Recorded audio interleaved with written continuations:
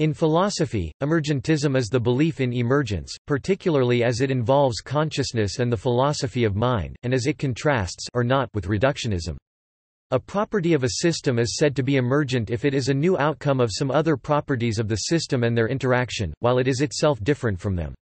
Emergent properties are not identical with, reducible to, or deducible from the other properties. The different ways in which this independence requirement can be satisfied lead to variant types of emergence.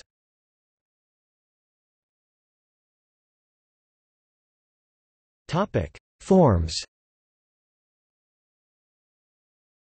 All varieties of emergentism strive to be compatible with physicalism, the theory that the universe is composed exclusively of physical entities, and in particular with the evidence relating changes in the brain with changes in mental functioning. Many forms of emergentism, including proponents of complex adaptive systems, do not hold a material but rather a relational or processual view of the universe. Furthermore, they view mind-body dualism as a conceptual error insofar as mind and body are merely different types of relationships. As a theory of mind which it is not always, emergentism differs from idealism, eliminative materialism, identity theories, neutral monism, panpsychism, and substance dualism, whilst being closely associated with property dualism. It is generally not obvious whether an emergent theory of mind embraces mental causation or must be considered epiphenomenal. Some varieties of emergentism are not specifically concerned with the mind-body problem, and instead suggest a hierarchical or layered view of the whole of nature, with the layers arranged in terms of increasing complexity with each requiring its own special science. Typically physics mathematical physics, particle physics, and classical physics is basic, with chemistry built on top of it, then biology, psychology, and social sciences. Reductionists respond that the arrangement of the sciences is a matter of convenience, and that chemistry is derivable from physics and so forth in principle, an argument which gained force after the establishment of a quantum mechanical basis for chemistry. Other varieties see mind or consciousness as specifically and anomalously requiring emergentist explanation, and therefore constitute a family of positions in the philosophy of mind. Douglas Hofstadter summarizes this view as, "...the soul is more than the sum of its parts." A number of philosophers have offered the argument that qualia constitute the hard problem of consciousness, and resist reductive explanation in a way that all other phenomena do not. In contrast, reductionists generally see the task of accounting for the possibly atypical properties of mind and of living things as a matter of showing that, contrary to appearances, such properties are indeed fully accountable in terms of the properties of the basic constituents of nature and therefore in no way genuinely atypical. Intermediate positions are possible, for instance, some emergentists hold that emergence is neither universal nor restricted to consciousness, but applies to for instance, living creatures, or self-organizing systems, or complex systems. Some philosophers hold that emergent properties causally interact with more fundamental levels, an idea known as downward causation. Others maintain that higher-order properties simply supervene over lower levels without direct causal interaction.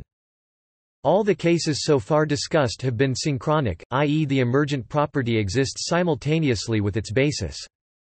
Yet another variation operates diachronically.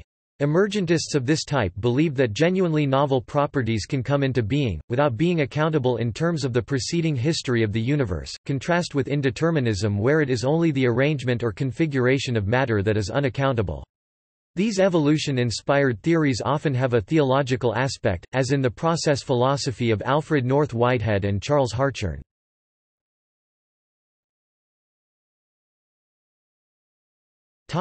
Relationship to vitalism A refinement of vitalism may be recognized in contemporary molecular histology in the proposal that some key organizing and structuring features of organisms, perhaps including even life itself, are examples of emergent processes, those in which a complexity arises, out of interacting chemical processes forming interconnected feedback cycles, that cannot fully be described in terms of those processes since the system as a whole has properties that the constituent reactions lack. Whether emergent system properties should be grouped with traditional vitalist concepts is a matter of semantic controversy. In a light-hearted millennial vein, Kirschner and Mitchison call research into integrated cell and organismal physiology molecular vitalism, according to Emmeche et al., 1997. On the one hand, many scientists and philosophers regard emergence as having only a pseudo-scientific status. On the other hand, new developments in physics, biology, psychology, and cross-disciplinary fields such as cognitive science, artificial life, and the study of nonlinear dynamical systems have focused strongly on the high-level collective behavior of complex systems, which is often said to be truly emergent, and the term is increasingly used to characterize such systems. Emmeche et al. 1998 state that there is a very important difference between the vitalists and the emergentists. The vitalists' creative forces were relevant only in organic substances, not in inorganic matter. Emergence hence is creation of new properties regardless of the substance involved. The assumption of an extra-physical vitalis vital force, entelechy, elan vital, etc., as formulated in most forms old or new of vitalism, is usually without any genuine explanatory power. It has served altogether too often as an intellectual tranquilizer or verbal sedative, stifling scientific inquiry rather than encouraging it to proceed in new directions.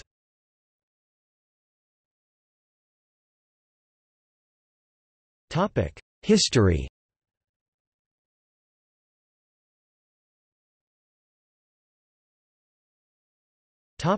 John Stuart Mill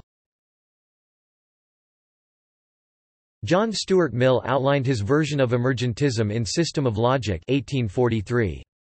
Mill argued that the properties of some physical systems, such as those in which dynamic forces combine to produce simple motions, are subject to a law of nature he called the composition of causes. According to Mill, emergent properties are not subject to this law, but instead amount to more than the sums of the properties of their parts.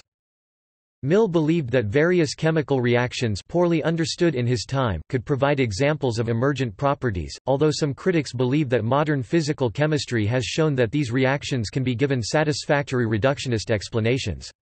For instance, it has been claimed by Dirac that the whole of chemistry is, in principle, contained in the Schrödinger equation.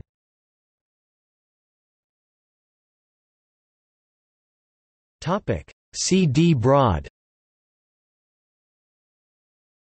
British philosopher C. D. Broad defended a realistic epistemology in the mind and its place in nature 1925, arguing that emergent materialism is the most likely solution to the mind-body problem. Broad defined emergence as follows.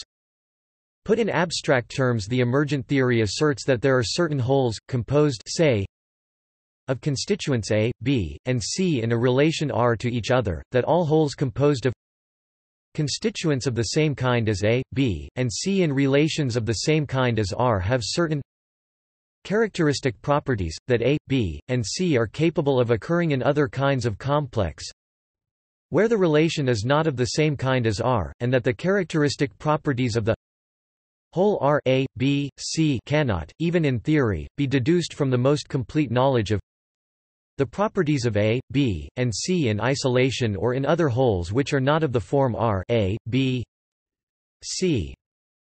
This definition amounted to the claim that mental properties would count as emergent if and only if philosophical zombies were metaphysically possible.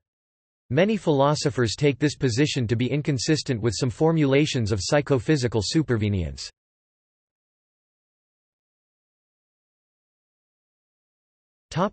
C. Lloyd Morgan and Samuel Alexander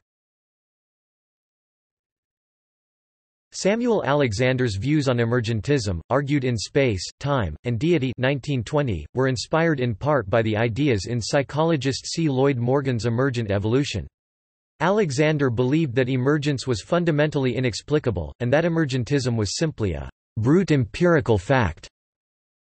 The higher quality emerges from the lower level of existence and has its roots therein, but it emerges therefrom, and it does not belong to that level, but constitutes its possessor a new order of existent with its special laws of behavior.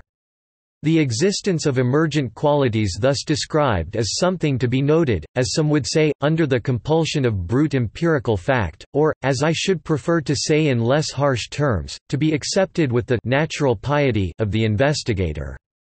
It admits no explanation. Space, time, and deity. Despite the causal and explanatory gap between the phenomena on different levels, Alexander held that emergent qualities were not epiphenomenal. His view can perhaps best be described as a form of non-reductive physicalism (NRP) or supervenience theory.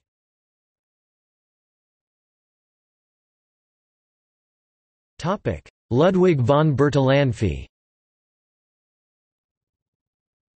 Ludwig von Bertalanffy founded general system theory (GST), which is a more contemporary approach to emergentism. A popularization of many of the elements of GST may be found in The Web of Life by Fritjof Capra.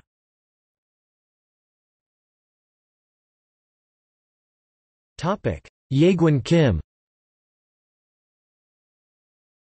Addressing emergentism under the guise of non-reductive physicalism as a solution to the mind-body problem Jaegwon Kim has raised an objection based on causal closure and overdetermination. Emergentism strives to be compatible with physicalism, and physicalism, according to Kim, has a principle of causal closure according to which every physical event is fully accountable in terms of physical causes. This seems to leave no room for mental causation to operate. If our bodily movements were caused by the preceding state of our bodies and our decisions and intentions, they would be overdetermined. Mental causation in this sense is not the same as free will, but is only the claim that mental states are causally relevant.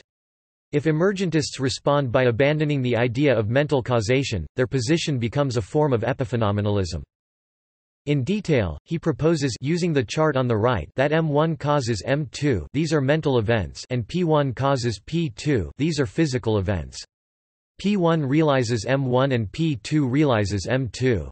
However M1 does not causally affect P1 i.e., M1 is a consequent event of P1. If P1 causes P2, and M1 is a result of P1, then M2 is a result of P2.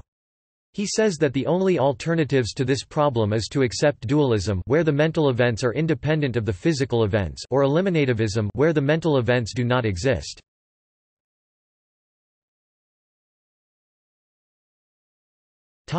See also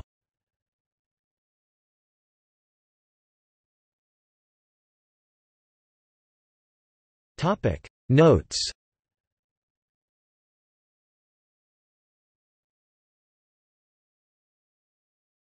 Topic Further reading